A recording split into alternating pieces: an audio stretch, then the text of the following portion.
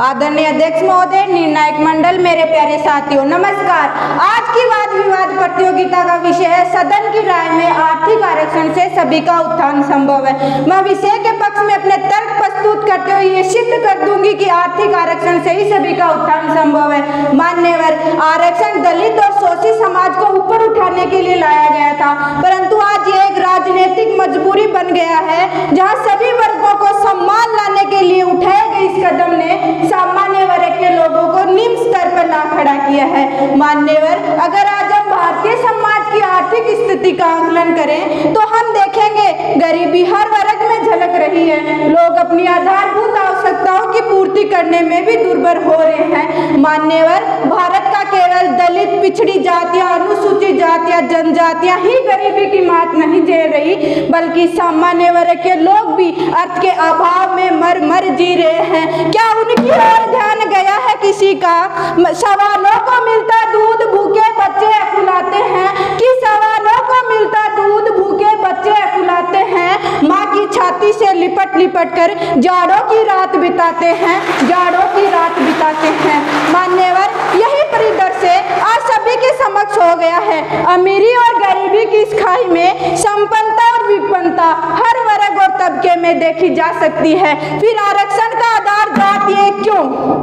Doctor Bhimrao Ambedkar ने जब आज़ादी के बाद संविधान का निर्माण किया तो उन्होंने केवल पिछड़ी जातियों के लिए बताया और इस बात पर ज़ोर दिया कि 10 साल बाद इसे समाप्त कर दिया जाए। किसी भी सूरत में आरक्षण की प्रणाली को आगे ना बढ़ाया जाए।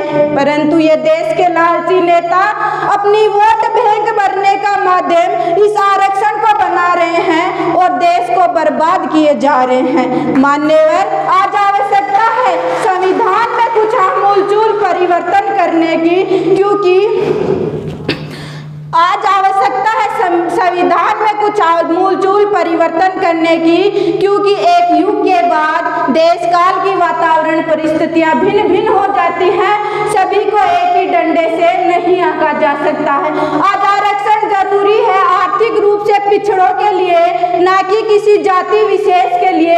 आरक्षण ज़रूरी है शिक्षा के लिए आज आरक्षण ज़रूरी है नौकरी के लिए आज आरक्षण ज़रूरी है देश की आर्थिक व्यवस्था को सुधारने के लिए, ना कि जातिगत भेदभाव को बढ़ाने के लिए। मैं अपने विपक्षी वक्ताओं से कहना चाहूँगी कि जब मेरा देश चल रहा था आरक्षण की आग में, मंडल आयोग के आहाकार में, कि जब मेरा देश चल रहा था आरक्षण की आग में, मंडल आहाकार में, तब ये राजनीतिक नेता तमाशाबीन होकर अपने राजनीतिक स्वार्थ की पूर्ति करते हुए अपना उल्लू सीधा कर रहे थे। मान्यवर, मैं पूछती हूँ कि किस किस का निवाला छीनोगे किस किस की तबाही देखोगे कि मैं पूछती हूँ किस किस का निवाला छीनोगे किस किस की तबाही देखोगे भूखा नंगा भारत तुम कब तक तस्वीरों में देखोगे तुम कब तक तस्वीरों में देखोगे मान्यवर देश के नेताओं द्वारा आर्थिक आरक्षण में बदलाव न करना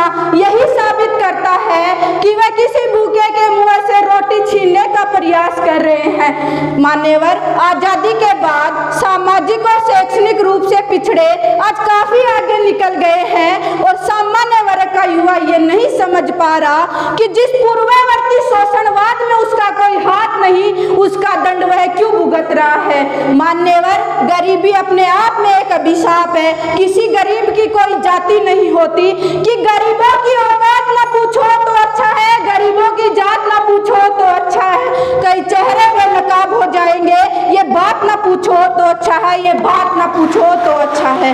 मान्यवर, अगर आज आर्थिक आरक्षण पर आरक्षण होता है तो ये आर्थिक रूप से पिछड़े लोगों के लिए संजीवनी का कार्य करेगा और एक सशक्त और समृद्ध समाज की आधारशिला रखेगा। एवं इससे सामान्य वर्ग व अन्य वर्गों के बीच आ रही वैचारिक दरार को भी भरा जा सकता है। अंत में मैं अपने वक्तव्य को विराम देते हुए यही कहना चाहूँगी कि कल तक शीशा था सब देख देख जाते थे आज टूट गया सब बच बच के जाते हैं कि कल तक शीशा था सब देख देख जाते थे। आज टूट गया, सब बच बच के जाते हैं। ये वक्त है साहब, ये वक्त है साहब। दिन के सबके आते हैं, दिन सबके आते हैं। जय हिंद, जय भारत।